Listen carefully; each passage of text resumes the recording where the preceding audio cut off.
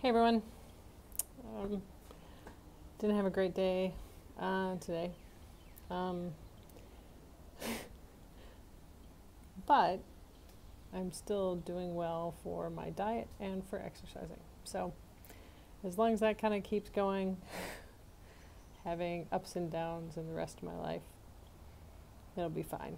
So, um, once again, the stress of the world is not derailing um, my desire to get rid of the pandemic 40. And truthfully, I have been thinking quite a bit of all the reasons why I want to do it. Um, so I think I'm probably going to revisit that list again. but one of the things I'm going to add to the list is that if I lose the weight, my knee joints will probably stop hurting because that's kind of what I'm dealing with right now, and it is kind of bringing me down. So, all the more reason uh, to stick with the program and keep going. We'll talk to you tomorrow.